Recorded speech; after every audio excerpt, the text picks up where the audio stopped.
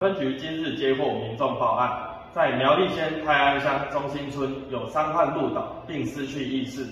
民警到场后立即通知救护车送往大顺医院，目前伤患正在急救当中。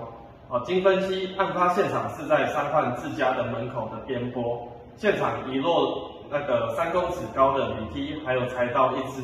哦，伤患当时哦穿着拖鞋，并且没有打斗或其他外伤。